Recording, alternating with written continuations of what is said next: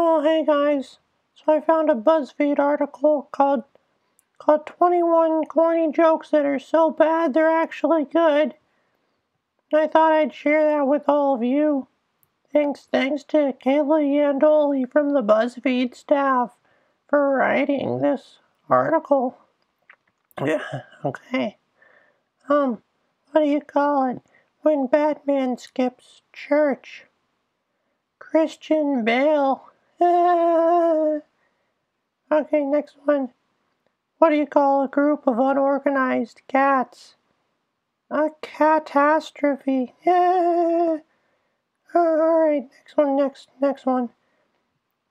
What disease do you get when you decorate for Christmas?